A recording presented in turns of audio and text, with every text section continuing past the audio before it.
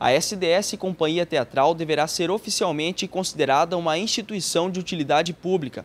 É o que prevê um projeto de lei apresentado pelo vereador Marcelinho Moura e aprovado por unanimidade na Câmara Municipal de Foz do Iguaçu. Há 13 anos, a SDS ensina os jovens de Foz do Iguaçu e região a atuarem nos palcos e até mesmo na TV. O serviço é voltado à comunidade e totalmente gratuito. Nós trabalhamos em toda a região de Foz, tá? atendendo projetos, atendendo solicitação de outras entidades, é, projetos pela Fundação Cultural, com oficinas de aulas. Através dessas oficinas, os alunos que se destacam, eles são chamados para participar de uma escola, de uma oficina de alunos da SDS. Esses alunos sobressaindo, eles são convidados a participar da companhia.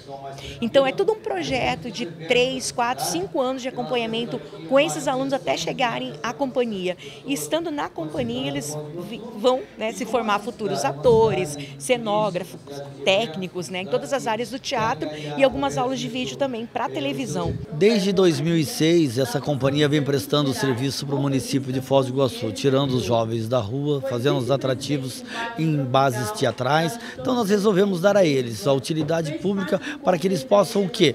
Ter mais afinidade com o município, conseguir verbas e apoio da estrutura municipal. Marcelinho Moura explicou quais benefícios a entidade terá, sendo considerada de utilidade pública. A tornabilidade de uma, de uma instituição dessa como utilidade pública traz o quê?